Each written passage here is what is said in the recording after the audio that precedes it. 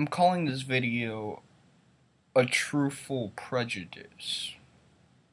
So I know no one's going to see it because it's vague as shit and people don't like vague titles. Unless they're looking for something that's alluring and they don't really know what they want. But for people that are searching for practical videos, you're not gonna find this. You're not gonna bother to look at it. And that's alright. I could lose 12 more subscribers and I'll still be Gucci, boy. I noticed that people on the left with a social justice perspective, whether it's the gay issue or the race issue, they like to act like caricatures of their oppressor. For example, LGBT activists use the same rhetoric that they frame Christians, their caricature of Christians as having. For example,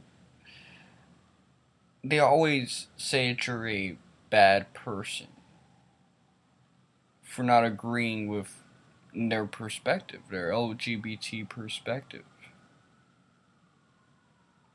and that the only way for you not to be a bad person anymore, the only way for you to be absolved of this sin, although they don't call it a sin, and really,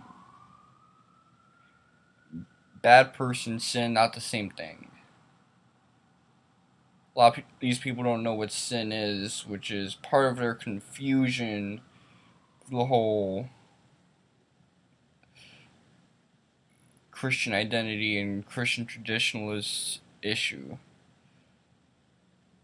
So they just think that Christians are calling them bad people. But anyway, going to the main point, the main example I'm using, they use this rhetoric and say, okay, you're a bad person, and the only way for you to be absolved of this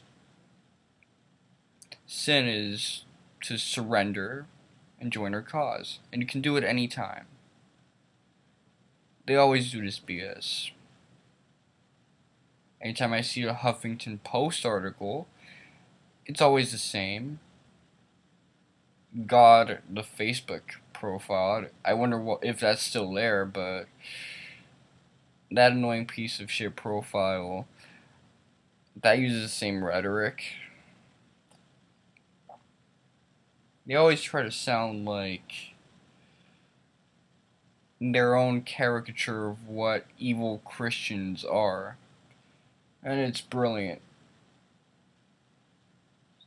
Same thing with people on the race issue. Black people, Native Americans, Hispanics, they always pretend to be the character of their imaginary white oppressors. They always pretend that.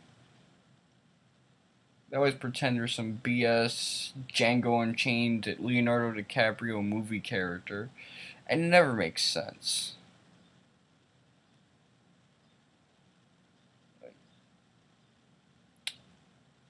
They try to act like they're the ones that are hateful of a race and that they're whipping slaves and lower plebs were doing whatever it is that they felt that happened a long time ago that made them oppress.